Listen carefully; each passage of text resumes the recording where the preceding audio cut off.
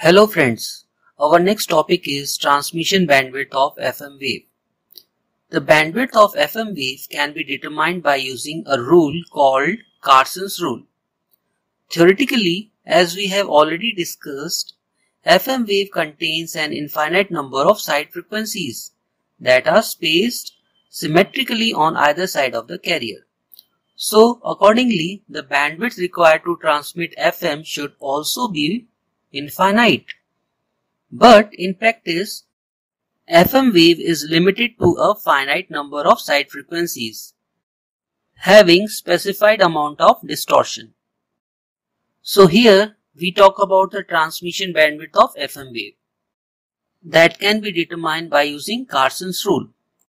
That is also called approximate rule. According to this rule, transmission bandwidth is equals to twice of delta f plus fm. Here delta f is called frequency deviation and f suffix m is called modulating frequency. Now we take delta f common and we get transmission bandwidth is equals to twice of delta f within bracket 1 plus fm upon delta f. And we know that modulation index is equals to delta f upon fm that is beta. So in place of fm upon delta f we can write 1 upon beta. Now first we consider narrowband fm. In this case modulation index beta is far less than 1 radian so we can say that delta f upon fm is less than 1. And after moving fm towards right side, we have delta f less than modulating frequency. And when we apply this to find transmission bandwidth, we get twice of fm. Here we neglect delta f as compared to modulating frequency and this transmission bandwidth of narrowband FM is same as amplitude modulation. Next, in the second case, that is for wideband FM, we have modulation index beta greater than 1 radian. So accordingly, delta f upon fm is greater than 1 or delta f is greater than modulating frequency. And after applying to the transmission bandwidth, we get twice of delta f. Here we neglect modulating frequency as compared to delta f. So according to the Carson's rule, the transmission bandwidth of narrowband FM is twice of FM that is same as amplitude modulation and in case of wideband FM the transmission bandwidth is twice of frequency deviation. Next we talk about international regulation for frequency modulation.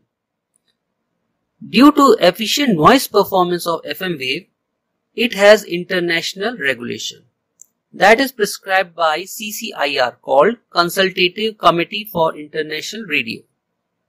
And their prescribed regulations are maximum frequency deviation is plus minus 75 kilohertz frequency stability of the carrier is plus minus 2 kilohertz and allowable bandwidth per channel should be 200 kilohertz.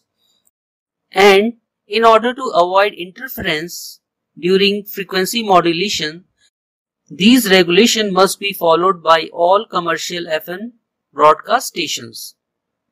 So CCIR is the regulating authority for frequency modulation. Next, we talk about effect of variation of modulation index beta on the spectrum of FM, especially wideband FM. We know that the transmission bandwidth of wideband FM is twice of delta F. Also, modulation index beta is equals to delta F upon FM. And using this, when beta increases, Delta F also increases and accordingly the number of sideband increases.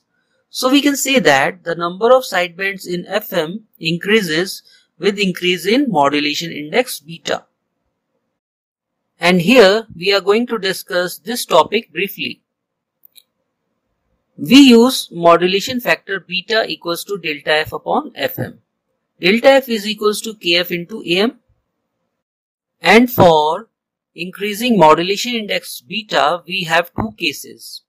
In the first case, we consider modulating frequency by keeping amplitude of message signal fixed. Since beta is inversely proportional to modulating frequency, as beta increases, modulating frequency decrease. And here we keep amplitude of the message signal fixed and kf is already a constant called frequency sensitivity of the modulator. So kf into am is a constant that is delta f. So as modulation index beta increases, the modulating frequency decreases. This can be explained using frequency spectrum of FM.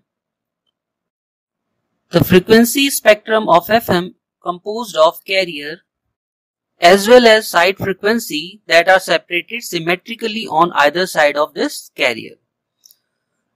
First we consider modulation index beta equals to 0 and here the transmission bandwidth is twice of delta f that is for wideband FM. This transmission bandwidth includes carrier with one single pair of side frequencies. Now as modulation index beta increases that is equals to 2 the modulating frequency decreases. Also here, the delta f is constant. So the transmission bandwidth is also constant. But due to the decrease in modulating frequency, there is an increase in number of side bands that is shown in figure.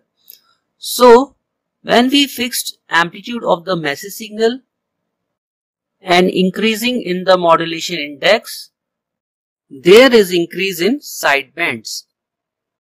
Next, in the second case, when we keep modulating frequency constant. So in this case, kf into am is not constant or we can say that delta f is also not constant. Now, to clarify this, we use FM spectrum having modulation index beta equals to 1 and here the transmission bandwidth is twice of delta f.